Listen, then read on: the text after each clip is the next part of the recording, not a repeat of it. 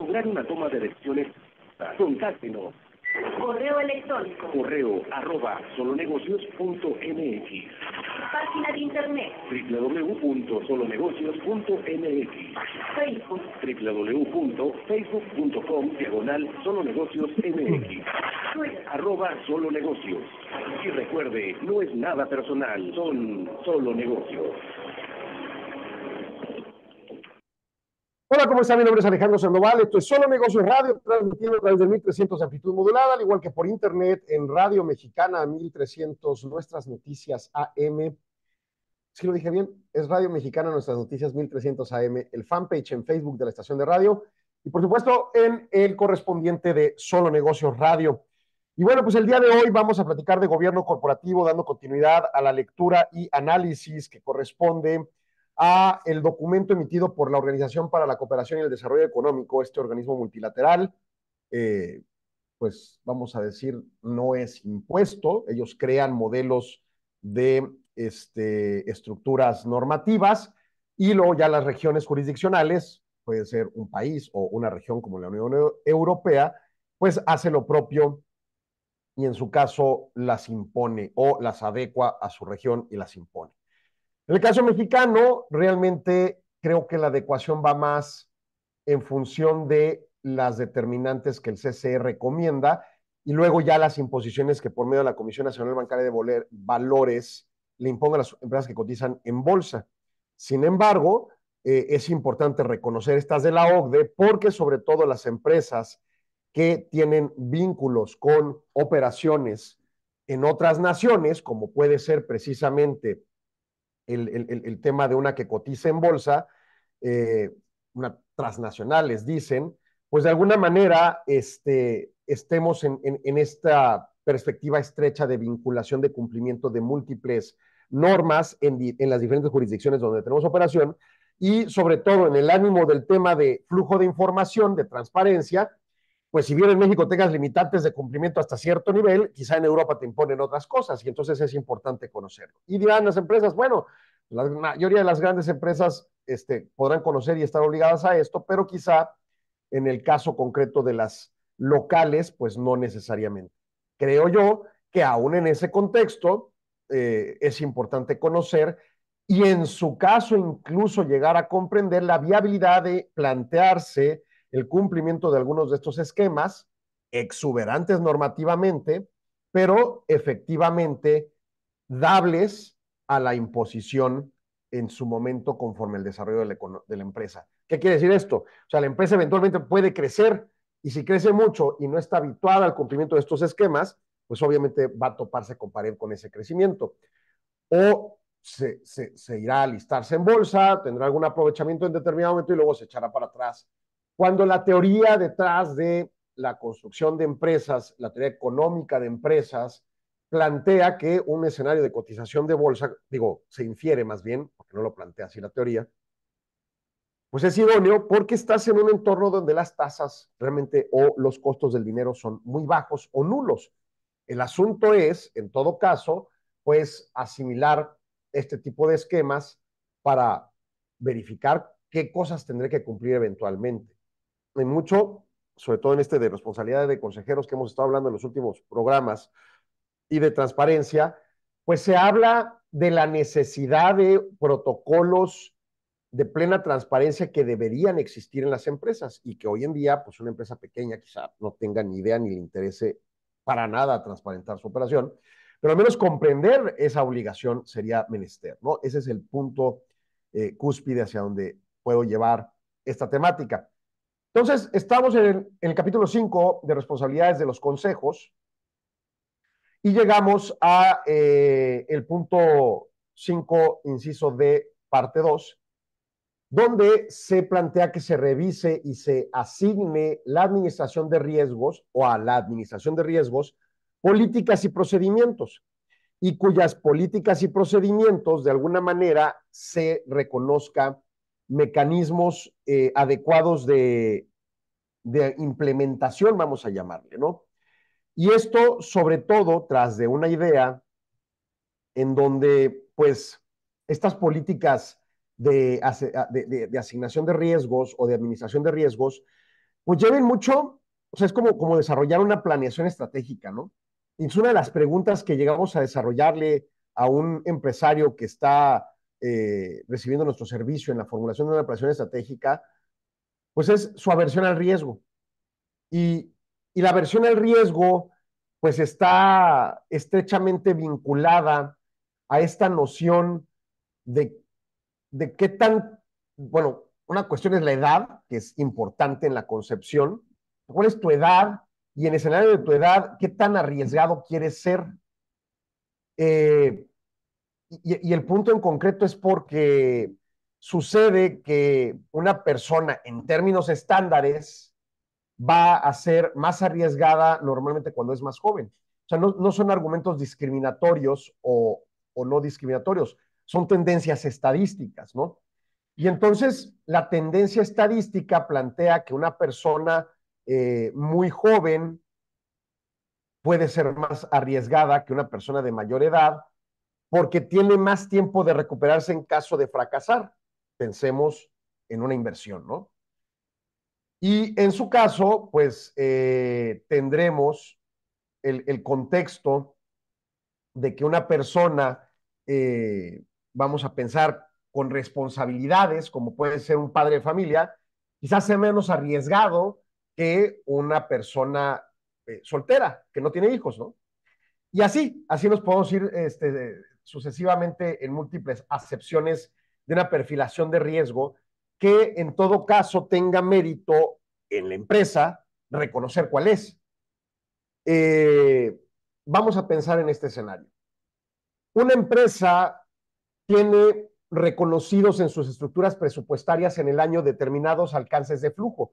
Esto es, hay meses del año que vende, vende mucho, pero su estructura de costos normalmente es estable. Sí, obviamente muchas veces los variables se mueven con, respecto a los ingresos, los costos variables, costos de venta, fiscalmente hablando, pero quizá hay épocas del año en donde sí hay robustamente ingresos y muchos de los ingresos se usan para épocas de malas del año, una empresa que sea muy cíclica en sus ventas, pensemos, ¿no? Estoy inventándome una idea de empresa.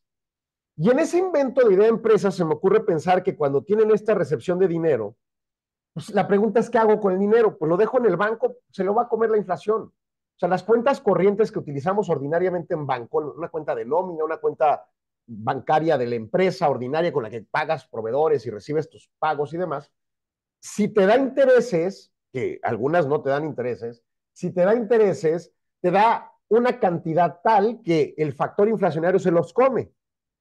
Entonces, dejarla como cuenta ahorro es una locura. Incluso los bancos osan acomodar, yo digo, esto lo hago más sarcásticamente, pero los bancos osan acomodar su clasificación de cuentas a la cuenta empresarial, la cuenta de nómina y la cuenta de ahorro. La cuenta de ahorro también es una burla, porque las tasas de interés que ofrecen son contrarias a, o digo, menores que la inflación, ¿no? Entonces, ¿qué hacer con un dinero que se va a guardar durante algún tiempo? Y obviamente depende de la cantidad, puede ser, pero lo cierto es que no a una gran cantidad el mundo cambia. O sea, cambia el mundo cuando cierta cantidad y ciertos meses pueden impactar en una desvalorización ya de, decenas de miles de pesos. Si estamos hablando de menos de un millón de pesos, ya pudiera unos meses en el banco provocar un detrimento si se guardó en una cuenta que te dé nulas o bajas tasas de interés. Y entonces la decisión de la empresa, bueno, pues lo lógico es, pues lo voy a guardar en un fondo de inversión o en CETES o en qué cosa para poder saber que preserve el valor del dinero en el tiempo, si se puede que gane y, y que tenga la liquidez suficiente, esto es, que tenga accesibilidad de sacar el dinero al momento en que lo necesite, porque pues llegará el ciclo en que necesite el dinero. Bueno, si estos argumentos son ciertos, entonces en esta empresa hay ciertos meses del año que le conviene mandar el dinero a algún instrumento financiero que como mínimo le brinde el valor inflacionario de rentabilidad, ¿no? Y obviamente la comisión del banco y lo que corresponda. Entonces, en esa lógica, pues podríamos pensar, pues, CETES es lo más seguro, porque son estos instrumentos de la entidad que por default, en la perspectiva académica, teórica, financiera, no quiebra. Son gobierno, no quiebra. Vean el de Venezuela, es un desastre y no quiebra. El gobierno mexicano, con todas sus vicisitudes y críticas y demás, pues, es difícil que quiebre. Nos podrá costar muchísimo más caro el dinero por las irresponsabilidades de un gobierno X determinado, pero ciertamente no quiebra. En cambio, una empresa, por más segura que esté y bien administrada, pues pueden pasar cosas en la vida. Puede de repente sancionarse que ese mercado ya es ilegal o restringido o incrementarse los costos de los insumos a tal nivel que ya se saque de mercado. Yo qué sé, les pasan cosas a las empresas. Y entonces en esa lógica, pues tienen un grado de riesgo. Pero dentro de las empresas, pues hay empresas que tienen mucho más eh, certidumbre de su operación, están más adecuadas al mercado actualmente y es muy probable que se mantengan en el tiempo y de repente les construyen estas clasificaciones o, o, calificaciones de valores en bolsa, ya sean deuda o este, acciones, y en su caso con ello, pues de alguna manera puedes tenerle más confianza a las que ahorita están ahí cotizando en bolsa, no son empresas que, realmente vayan a quebrar rápidamente o fácilmente. En cambio, pues la tienda de abarrotes del compadre ahí en la esquina, pues igual es de confianza y le puedo dar dinero, pero igual mañana desaparece o se quiebra o lo que sea, ¿verdad? Entonces, en esa lógica, pues ahí vamos en un panorama de perfiles de riesgo. Bueno, lo que nos está diciendo el planteamiento aquí, vamos perfilando el riesgo de la empresa como primer plano y documentalo y verifica cuál es el apetito de riesgo de la empresa y cuál es su cultura en este plano de ahorros, pero también en la operación ordinaria. Cambia de, proveedores de noche a la mañana, ¿qué hace con respecto al tema, no? Y entonces aquí es tener mecanismos de políticas y procedimientos para saber administrar el riesgo. Arturo me manda corte, regresamos en segundos. No se vaya, siga aquí en Solo Negocios.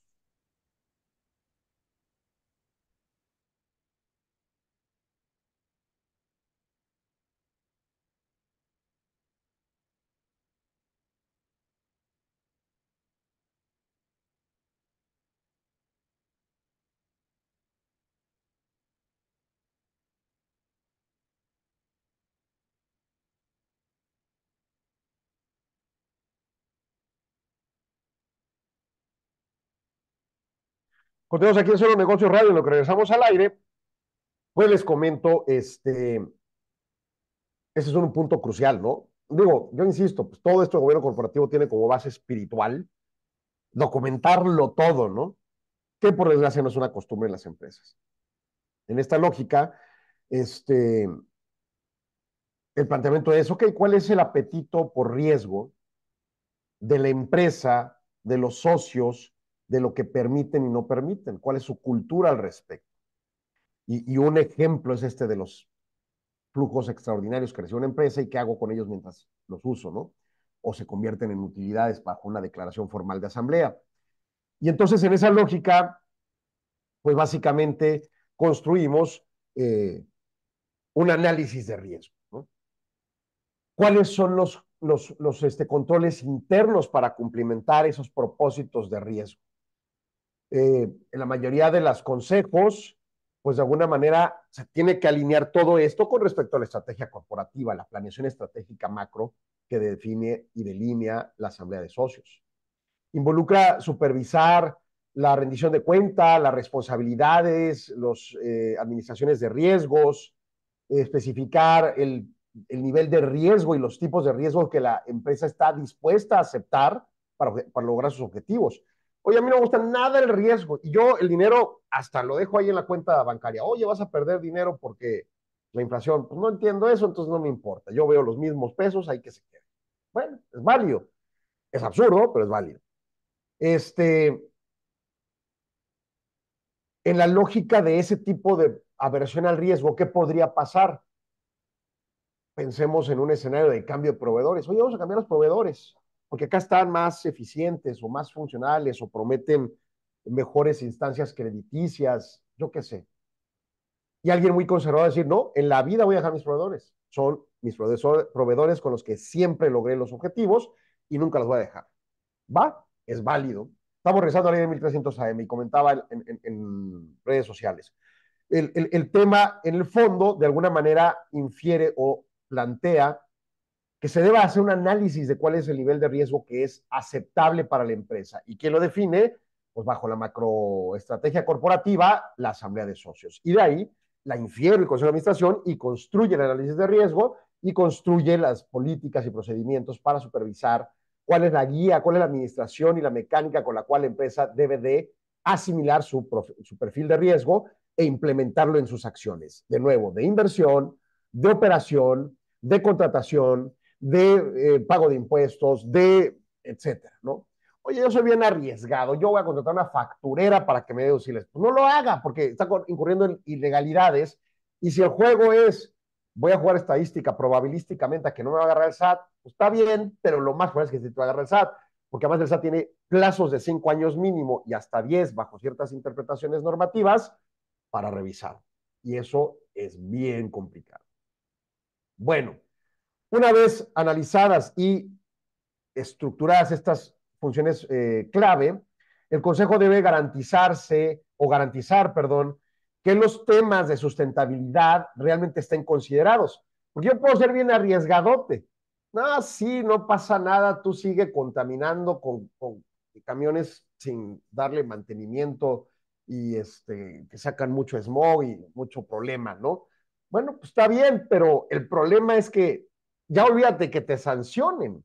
También tienes imposiciones normativas ambientales quizá incluso exuberantes, autoinducidas o autoimpuestas por, por los criterios de la Asamblea, por la macroestrategia de la Asamblea, para ser una empresa verde, vamos a decir, y pues con esto lo estás violando por riesgoso, ¿no? Por, por arriesgado, perdón.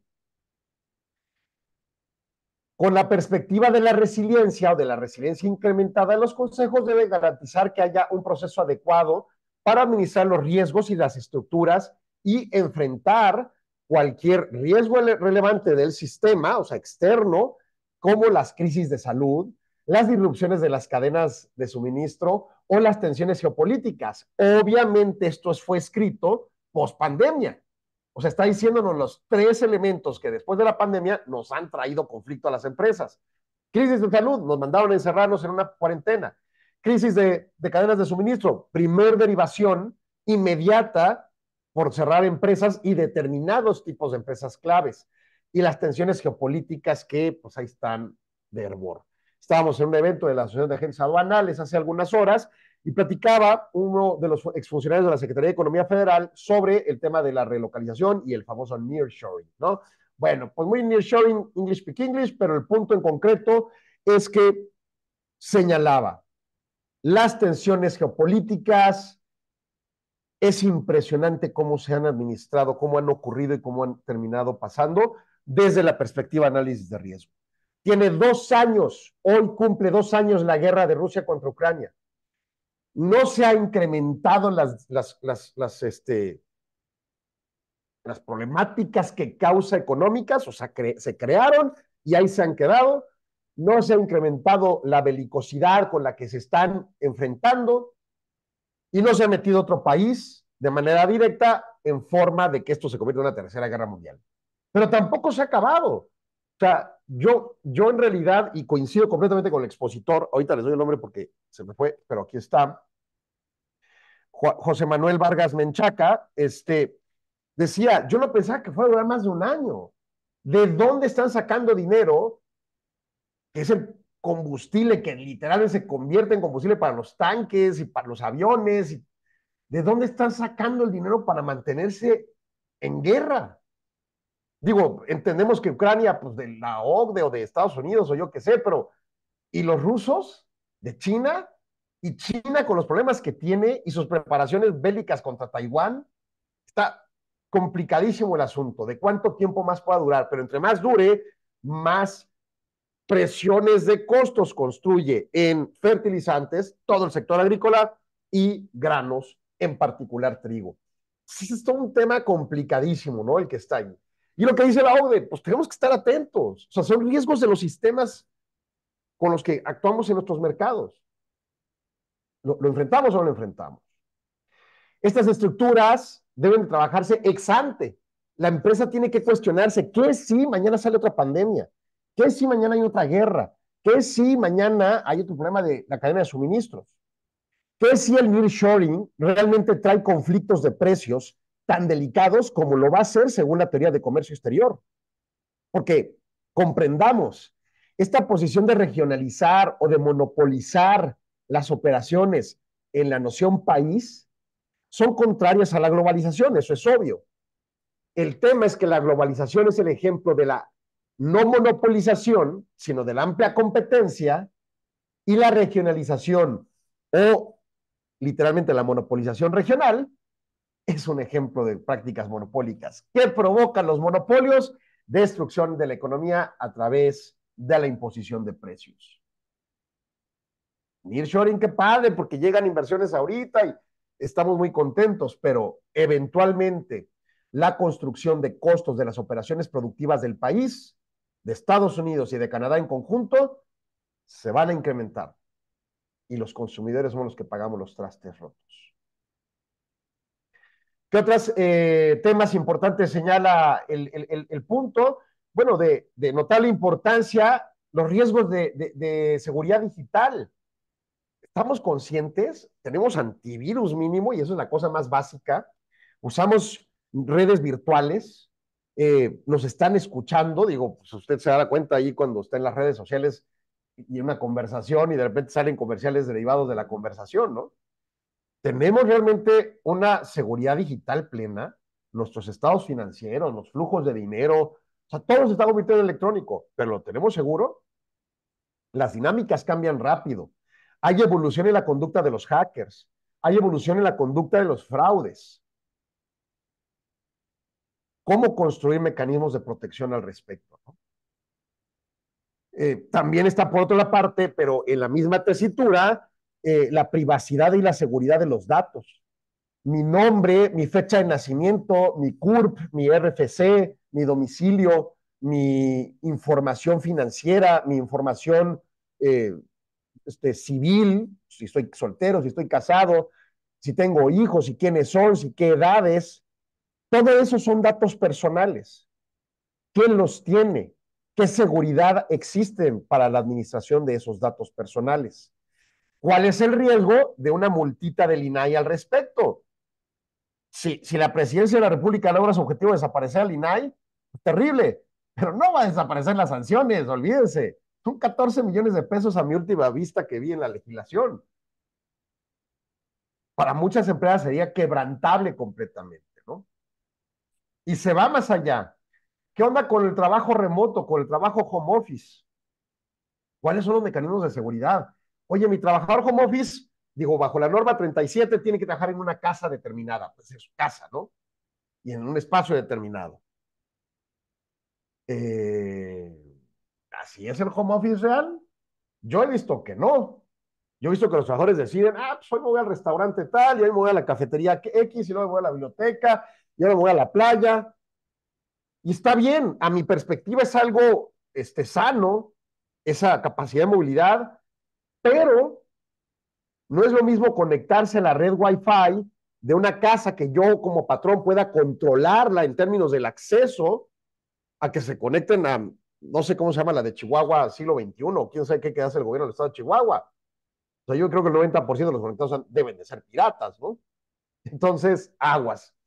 Y luego nos vamos a otro tema este, con respecto a lo que es el riesgo fiscal que a, la OCDE le fascina, ¿no? Pues está lleno de fiscalistas hacendarios. Dice otro importante tema es el desarrollo de la administración del riesgo fiscal. Un análisis estratégico completo de los consejos deben de considerar el riesgo de cumplimiento o de incumplimiento fiscal para asegurarse que estemos de acuerdo, incluso reputacionalmente, respecto al tema del cumplimiento fiscal. Digo, la OCDE le fascinan estos temas, ahí vienen muchísimas de las reglas de precios de transferencia, de, bueno, ya ahorita con BEPSA y todos estos esquemas nuevos, ¿no? Ah, y bueno, y entonces a, a partir de estos criterios, bueno, pues el comité de análisis de riesgos, cómo debe estar constituido, quién debe de participar en él, cuáles son sus tareas, qué va a revisar, cuál es el flujo de información, cuáles son los requerimientos regulatorios y cuáles son los exuberantes a cumplir. Los protocolos de debida cumplimiento o los estándares de debido cumplimiento junto con el parámetro ético de conducta de negocios deben de integrar todos estos elementos porque al final del día, de nueva cuenta, el, la responsabilidad del Consejo de Administración recae fundamentalmente en que todo esto que acabo de citar no se convierta en una obstrucción a la macrometa fijada como objetivo por los socios. O yo socio le metí el dinero, Macrometa definí que tu mercado es hacer este, helados y te dispongo para que operes consejo de administración, director, operativos y demás. Y de repente a nadie le importó la, brecha de violación de digital y de repente se robaron la, la, receta y de repente ya tenemos 30 competidores con el mismo producto, ¿no? O nos robaron el dinero del banco, o este, se robaron los empleados, o nos cayó el INAI con una multa por violación de datos personales, o lo que quiera, porque nadie hizo un análisis de riesgo y una administración y políticas correspondientes para evitar estos potenciales riesgos, sobre todo los sistémicos internos que tienen capacidad de control a cierto nivel de empresa y los no sistémicos, entendiendo que no tenemos capacidad de control, pues mínimo entender qué podríamos hacer si pasaran. Oye, si hay otra pandemia, pues cerramos, ya no tenemos nada. Ah, ok, bueno, pues mínimo ten resguardo financiero para el pasivo contingente. Oye, que no se, que, lo digo pasivo contingente para ilustrar de qué se trata, pero que no, no lo van a poner en el estado financiero, porque estamos hablando de un riesgo pues, lejano, completamente no sistémico, ¿no? Pero este, pues, e, e, en, la, óptica del análisis de riesgo habrá que advertir posibilidades. Incluso un, un, proyecto pleno presupuestario pudiera traer consigo mediciones de cierre, que es una de las posibilidades de decisión de un empresario, de un accionista, a qué momento de nivel de riesgos convertidos en siniestros reales, a qué momento de elevación de costos o de sanciones de las autoridades es conveniente cerrar. Es algo que las empresas deberían tener contemplados, ¿no? Ese, ese es el planteamiento. Vamos a corte rápidamente, no se vaya, continúe con nosotros aquí en Solo Negocios.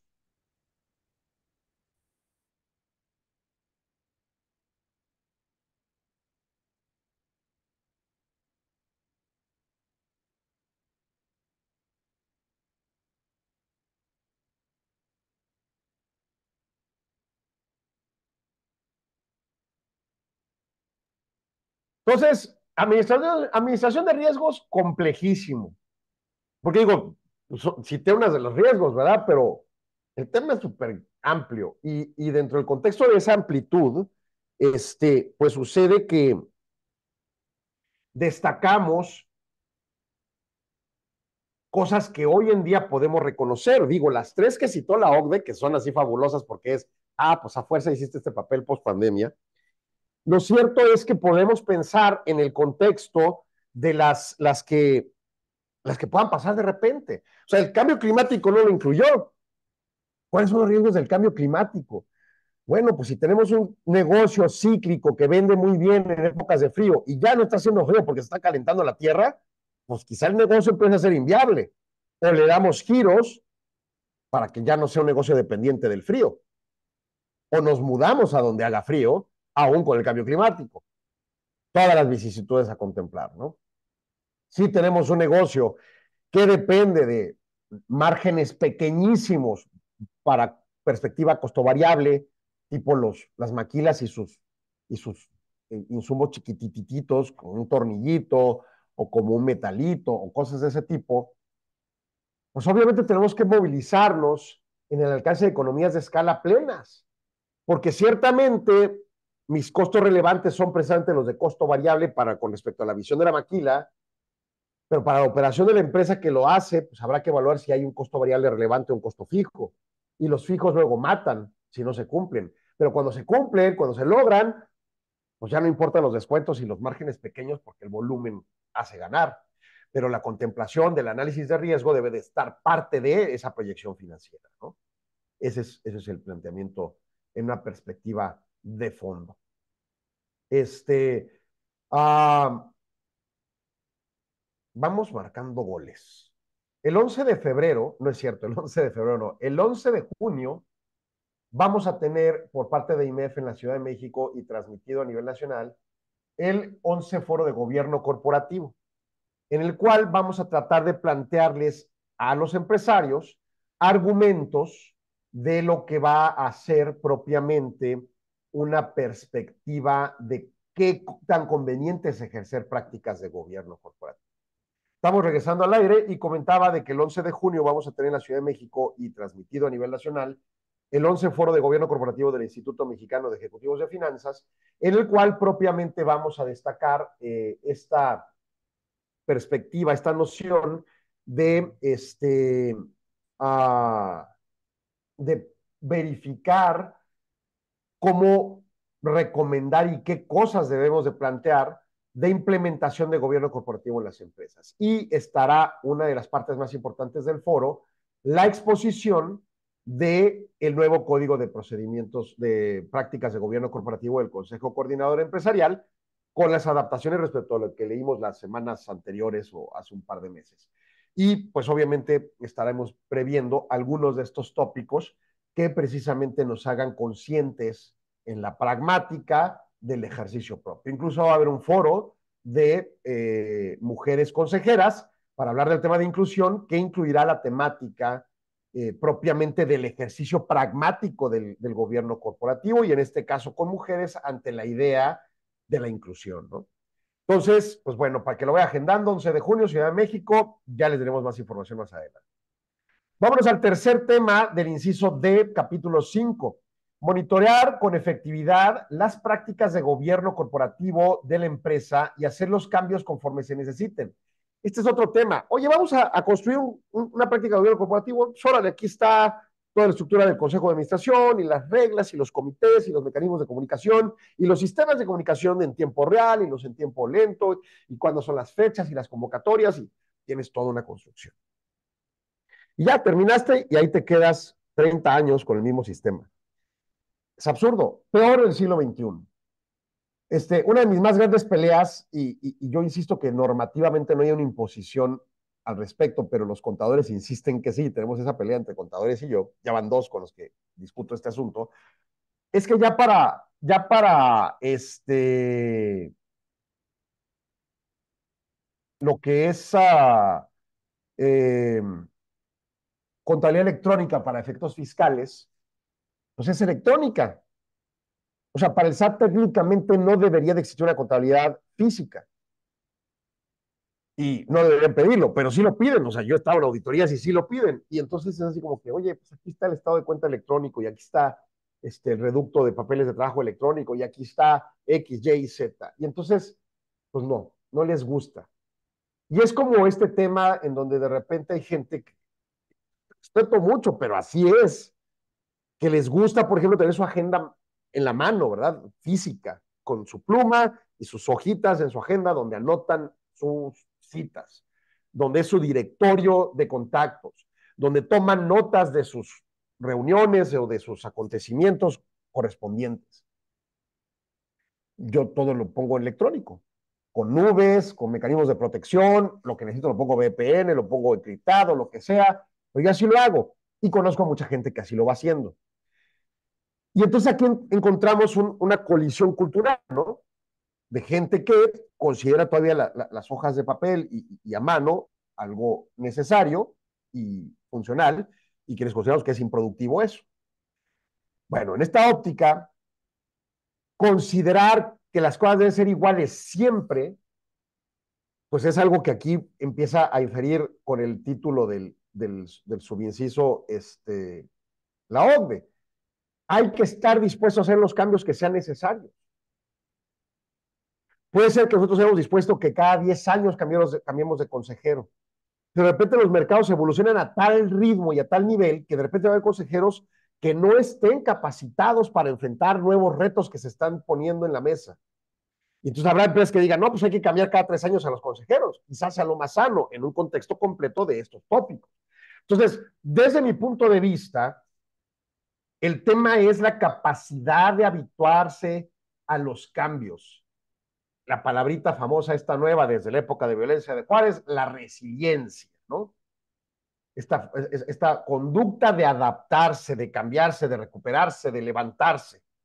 Y la empresa tiene que tener esa cualidad en su construcción de macropolíticas estratégicas, ¿no? El monitoreo de, la, de las prácticas de gobierno corporativo por parte del Consejo de Administración debe ser continuo debe estar revisando la estructura interna de la empresa, verificar que hay rendición de cuentas plena, que el flujo de la comunicación no solo está en papel, sino realmente llega a la comunicación, y por papel no me refiero a la agenda en papel, pero no solo está documentado, sino realmente llega la información. Que el monitoreo incluya si la empresa y su estructura se mantiene apropiada en función a los cambios materiales, al tamaño de la empresa, a la complejidad de la empresa, del exterior, a las estrategias de negocio, a los mercados, que es el todo, y a los requerimientos regulatorios. El REPSE, eh, las vacaciones. Ahorita acaban de aprobar en comisiones el, aguinaldo 30 días. ¿Entraría este año? No, lo más probable, lo más lógico, es que dado que este año ya arrancó, ocurra en vigencia hasta el 2025, pero ya está aprobado y ya sabíamos que iba a ir fluyendo el tema. Y seguramente van a querer aprobar el tema de la reducción de jornada antes del 30 de abril que se acaba el periodo de sesiones del Congreso. Pues porque es una cartita de venta de los legisladores a, al tema este, electoral, ¿no? Pero al menos, como mínimo, el próximo primero de septiembre se va a meter a la mesa si no ha sido aprobado y entrará en enero. tenemos que adaptarnos a eso. ¿Cuáles son los cambios que van a venir con estos temas? Ayer hacían alusión a la ley silla, esta ley que obliga a tener sillas para los trabajadores, pero eso siempre ha estado en la ley. Lo que obliga ahora es que sí se les dé tiempos de descanso, que también estaba en la ley. No se necesitaba, pero bueno, sí se necesita, pues, sobre todo para las empresas que siempre están parados los trabajadores. Y tampoco se necesita porque siempre hay espacios de descanso, pero bueno, es, de estas cosas que de repente la OIT plantea y, ya sabe, igual Gafi plantea y de repente el SAT implementa de una manera distorsionada, pues aquí también creo que eso pasó. Pero bueno, esa ley sí ya ha sido interpretada por algunos como algo que les va a generar daño ¿no? en, en la operación de la empresa.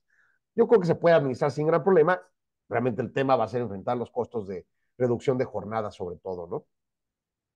Monitorar este, la divulgación de los, de, los temas correspondientes en la empresa y, y sobre todo con regularidad o sea, cada cuándo voy a hacer revisiones como Consejo de Administración. Porque acuérdense que si vamos a hablar de las responsabilidades del Consejo de Administración, o sea, el Consejo de Administración es el responsable de todo. Que no lo haga este, sino lo delegue, es otra cosa. Pero si queda mal, aún el delegado, quizá pueda tener responsabilidad el delegado, hacer un buen contrato. Pero si mal el delegado, el responsable es el Consejo. ¿No? Y entonces aquí tiene que estar revisando que continuamente esté bien estructurado. El eh, subinciso 4, ele, eh, elegir, supervisar, monitorear el desempeño de ejecutivos clave y cuando sea necesario, cambiarlos, así como supervisar la planeación sucesoria. Ejecutivos clave, el director general, el director jurídico, el director del cumplimiento del compliance, el director financiero, eh, no sé qué otros directores puedan construirse, el tesorero, el contralor, gerentes generales, gerentes regionales. Depende de la dimensión y tipo de empresa y las cosas, ¿no? Pues en esa tesitura, este, eh, eh, creo yo que el tema, pues, destaca comprender la imperiosa relevancia de este consejo y su responsabilidad de que sus primarios subordinados son la alta gerencia de la empresa. Y dos, que tiene que estar alternativamente viendo también, o sea, paralelamente, el plan de sucesión. ¿Cuál sucesión? De los propios consejeros y de los accionistas. Eh, obviamente los consejeros, en función sobre todo los de los, de, los independientes, ¿no? Pues tenemos que estarlos rotando, eso, es sano. Sobre todo porque traigan ideas frescas, ideas innovadoras, coyunturales en el momento que esté dándose el cambio, ¿no? O ser el más grande experto en finanzas y llevar la auditoría del comité de finanzas o del comité de auditoría y perfecto llevarlo en el tiempo, pero de repente yo ya me este, estanqué o ya logramos perfeccionar los procesos fiscales y contables y demás, que ya nunca hay ni, comentarios, ¿no? O son mínimos. Pero ahorita la gran amenaza es el riesgo digital sabes que tráete un consejero experto en, en, temas digitales, ¿no? Esa sería una idea que se podría poner en la mesa con, con sistemas de sucesión. Con, un comité de nominación, quién va a ser, cómo va a ser, qué, qué planteamientos honorarios se le va a ofrecer, eh, mecanismos de, de, dos consejos, de sistemas de consejos, uno de revisión y otro de ejecución, digo, las empresas más grandes posiblemente, este, la eh, remuneración que se le vaya a asignar a los, bueno, que ese es el punto 5, pero ahorita, ahorita vamos a ello, pero también se debe contemplar ¿Cuál es el valor de estos altos de gerencia, de estos consejeros independientes, de estos comités, de estos mismos consejeros en general, ¿no? ¿Debe de pagárseles o no? Les reitero, hay empresas en la bolsa de valores que no pagan a sus consejeros porque todos son accionistas. Pero entonces incumplen el tema de consejero independiente. Entonces, tienen que poner un consejero independiente y entonces sí asignarle un, un salario. O quizá le dicen, no, pues no te vamos a pagar. O sea, ser el consejero de la empresa más, este, de más alto nivel del país, pues te va a dar una eh, este, imagen reputacional extraordinaria. Y entonces ante ello, pues tendrás otros trabajos en donde nutras dinero. Es válido el argumento. Habrá quien quiera aceptarlo y habrá quien no, ¿verdad? Punto número cinco, alinear a los ejecutivos clave a precisamente los criterios de remuneración, fijar los criterios de remuneración, cómo los asignamos, cómo determinamos cuánto debe ganar cada quien en función a qué. Recordemos aquel temita que to toqué sobre todo con el de, el de, el de código de prácticas del CCE, y hablaba yo de aquellos PowerPoints que corrían en, en los 2000 y, y que uno decía que una empresa japonesa nunca permitía que su empleado de menores ingresos tuviera un ingreso siete veces menor o, o, o, o todavía ocho, nueve, que, bueno, más bien, que el de más alto ingreso no fuera siete veces mayor al de más bajo ingreso. O sea, que solo hubiera siete niveles de salario. Esa era como la esencia del argumento. Puede haber más, pero dentro de los siete, siete veces máximo, ¿no? Digo, yo no sé si usted tenga lógica, pero pues bueno, es, es, un tema que pongan. Ni siquiera sé si es cierto que en Japón pasa eso. Pero lo cierto es que es un tema que se ha puesto en la mesa, ¿no? Este, podemos explorarlo con la teoría de Carlos Atman de, de IMEF sobre productividad y los planteamientos de Gini, ¿no? Que, que, el coeficiente de Gini sea bajo frente a otras de tu mercado en donde son más inequitativos en la distribución de las, de las remuneraciones. Y claro, ahí yo me meto contrario a estos planteamientos del capítulo 5 de aquí de la OCDE y en su caso de, uh, de CCE, a que no solo debemos de ver el tema de remuneraciones de, los, de la alta gerencia, sino de toda la estructura eh, eh, empresarial. Porque se supone que tú deberías dejarle a la alta gerencia determinar las remuneraciones hacia abajo. Pero hay una perversión que ocurre y lo voy a equiparar a la maquila. Y si alguien no está de acuerdo, por favor díganme, porque quizás estoy mal en mi interpretación.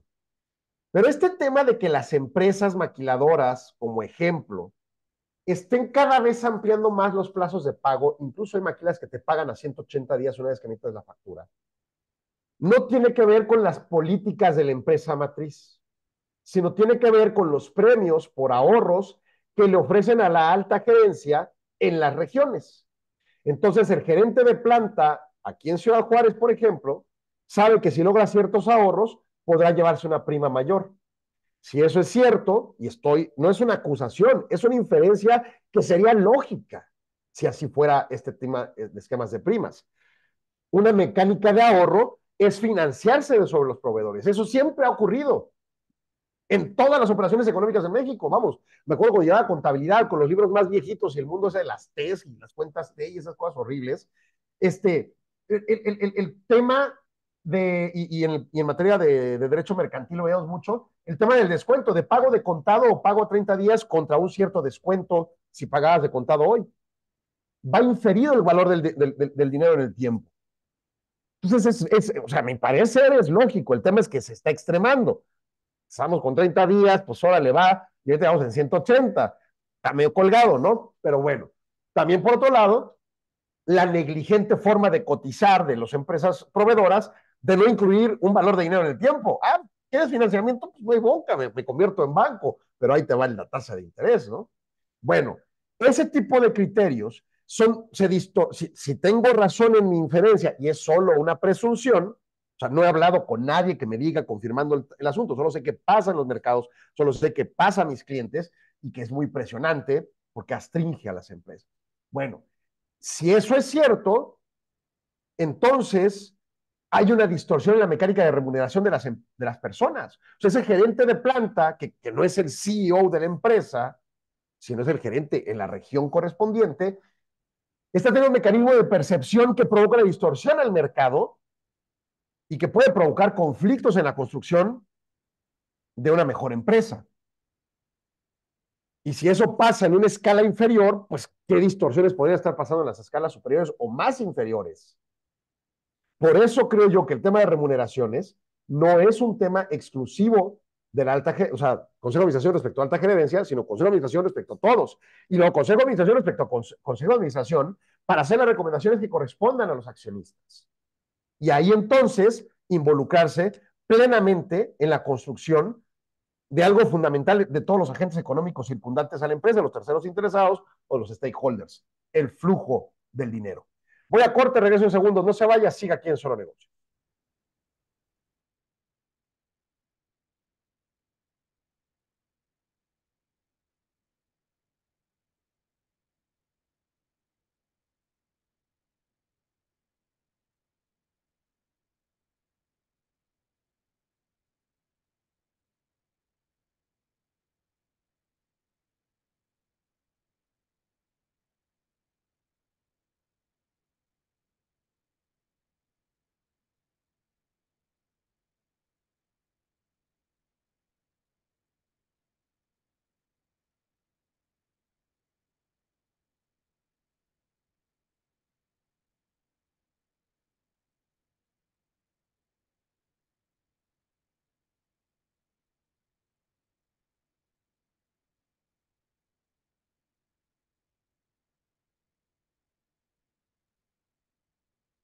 Bueno, el, capítulo per se habla de la remuneración de los accionistas, de los consejeros de administración, pero yo sí he querido incluir mucho esta temática. Este, o sea, sí está bien que haya, por ejemplo, ahorita, no, ayer, este, con, Ricardo Chávez Carvajal comentaba una nota de la OIT que habla sobre una ley de transparencia salarial. Entonces, las empresas van a obligarse a tener mucha más transparencia en las estructuras salariales y cómo las asignan, de manera que pues así como en los mercados, que es, que es, así como que plenamente la identificación de que el sector laboral es un mercado. En esa lógica, este, sucede que, esa de la OIT, que la obligación es, o sea, ofrezco puestos laborales, o sea, los mando al, al mercado y decir cuál es el verdadero rango salarial que estás ofreciendo. ¿Qué implica recibir el mínimo? ¿Qué implica recibir el máximo? Qué requisitos debo cumplir, etcétera, ¿no? Este, y hacia dentro de la empresa también había sus criterios en los escalafones, ¿no? Son de transparencia tal que tus empleados tengan claridad de dónde se encuentran en la construcción de diferentes niveles de, de salarios, ¿no? Y, y viene, viene pleno a este asunto. Entonces, pues a mi gusto es un tema a contemplar eh, esa construcción. Estamos rezando el aire 1300. Esa construcción de transparencia en los sistemas de remuneraciones. Y obviamente hacia los consejeros y a los stakeholders habrá cierta debida transparencia, no toda. Digo, yo no voy a transparentar los salarios a, a el IMSS, no necesito, el IMSS ya sabe cuánto gana la gente porque se lo declaro. Y si viene a revisarme, me va a analizar las estructuras salariales para contemplar y fijar los criterios que correspondan. El SAT lo mismo. Pero quizá la Secretaría Semarnat, no le importa un soberano comino que yo le dé a conocer este, la transparencia de los salarios, no tengo que dársela. Eh, en materia de clientes, por ejemplo, pues cuando usas el REPS se los tienes que dar a conocer todos los empleados que están ahí, no de los demás. Y no encanta a muchas empresas dar a conocer esa información, ¿no? En fin. Siguiente tema. Tema 6. Garantizar que la, el proceso de elección y la nominación al Consejo de Administración sea transparente y formal. Los principios promueven que haya un sistema de nominación y elección de los consejeros, pues documentado, con reglas que garanticen que el proceso sea respetado y que el proceso pues se ajuste según, uno, las leyes de la jurisdicción donde se encuentre y dos, los mejores mecanismos de transparencia sean respetados para con los accionistas. Oye, yo tengo 9% de las acciones de la empresa y el estatuto dice que hasta el 10% puedo ser eh, sujeto a elegir un, accionista, un consejero. Ok, si de repente aparece un consejero que yo elegí, pues notoriamente sería ilegal, ¿no? Por los mecanismos de transparencia y claridad. Ah, no, es que cambiamos los estatutos la semana pasada ya con eso, ¿no? Pues sí, pero tuviste que haberlo transparentado. Reglas, reglas documentales, ¿no? La, la, la, postura o las políticas de nominación pueden cambiar según las jurisdicciones, sobre todo si son obligadas como las que cotizan en bolsa. Eh, el Consejo tiene que definir el perfil colectivo o individual de los miembros del Consejo para que en su caso, pues el comité de nominación pueda comprender bien a quién tiene que buscar, cómo perfilar y cómo eh, ejercer su función. A mí me tocó participar en un consejo de recursos humanos para contratar al director del Colegio de Administración de Empresas de la Universidad de Texas en El Paso, allá en el 2002. Era representante, estaba en la maestría, representante del, del gobierno estudiantil por el colegio de posgrado, luego había otro joven, que era de los estudiantes de licenciatura, y pues varios profesores de otros colegios y, de la administración, representando a Diana Natalicio, que en paz descanse, que era la rectora. Y fue una discusión muy interesante, porque para empezar, era el director del colegio, y entonces era una persona, la presunción es que era una persona que venía de la academia, y con un gran historial académico, pero también con experiencia administrativa. Porque sí, probablemente fuera a terminar dando clases, pero lo más es que iba a administrar el colegio de administración. Y entonces esa persona pues, tenía que tener un currículum de, de, de, varias páginas, pero de muchas páginas. O sea, los que leí tenían gente que escribía libros, eh, artículos arbitrados, artículos periodísticos, eh, conferencias, pues obviamente como mínimo tres estudios, licenciatura, maestría y doctorado, pero la mayoría tenían postdoctorados y otras maestrías, quizás hasta una segunda licenciatura, eh, otras experiencias laborales, los que eran más uh, pragmáticos, en donde demostraban precisamente sus herramientas administrativas, y, bueno, pues eran documentos gigantescos, ¿no? Y había que leerlos y hacer las anotaciones en donde destacaban los puntos más relevantes, positivos y negativos, y en su caso, pues en esa tesitura, este, la, la perspectiva del propio, uh, del propio consejo este que fuimos en determinación, bien instruido cada individuo, llegábamos a, no sé, de 30 currículas, o no sé, no me acuerdo cuántos eran las que habían totales, coincidir en tres. Hablemosles a estas tres personas y entrevistemos. Y entonces también tenía un juego importantísimo la noción regional. La Universidad de Texas en El Paso y el Colegio de Administración en particular atiende una cantidad enorme de mexicanos, pero también de extranjeros con respecto a Estados Unidos, no mexicanos, que vienen de India, que vienen de este, las Bahamas o de zonas ahí del Caribe, y que vienen de Asia. Y entonces tienes una, una, este, un abanico cultural muy interesante y un director con cultura cerrada americana, conservadora, probablemente no encajaría bien. Tendría que ser una persona que tuviera una apertura y comprensión de la, de la diversidad cultural, como ejemplo, ¿no? Y entonces, en esa perspectiva, y, y luego dos, de la, de, de, del ser empresario en una zona binacional, porque sí, muchas empresas no son binacionales, pero sobre todo las comerciales y de servicios al público, recibimos americanos o mexicanos que viven en El Paso y que culturalmente han tenido modificaciones en su actuar y que vienen a visitarnos. Y muchas empresas que, que, que se abren en El Paso pues reciben a muchos mexicanos que vamos. Y si no se implanta en la carrera de administración de empresas, que van a terminar administrando esas empresas, mecanismos culturales binacionales, entonces tienes una omisión gravísima de aprovechamientos y de oportunidades perdidos. Entonces ese director tenía que permear esa cultura que ya existía entre el profesorado, pero al final del día iba a ser el líder, ¿no? Entonces, en esa lógica, el consejo de, de, nominación, que, del que fui parte, tuvimos una tarea bien interesante para decidir a un director que eventualmente duró, pues ahí muchos años, creo que ya no sé si ahí siga, tengo un poco despegado de la universidad, pero ciertamente es, ese es el tipo de funciones. Llegar a determinar claramente cuáles son las expectativas, cuál es el mercado, a quién va a atender, quiénes, a quiénes va a liderar y a quiénes va a imponer, cuáles son sus stakeholders. Por lo tanto, qué perfil necesitamos y ese perfil qué academia necesita y qué experiencia profesional necesita. Y luego, ¿cuánto vale eso? ¿Verdad? Porque, ah, pues no, nosotros te hemos asignado cinco pesos. Oye, no, lo que buscas vale 100 mil pesos al mes. Ah, caray, pues este, o reasignamos recursos o, o le bajamos a la expectativa del perfil, ¿no? Pero el Consejo de Administración, una vez más, es el responsable de que eso se construya para consejeros y para su alta gerencia.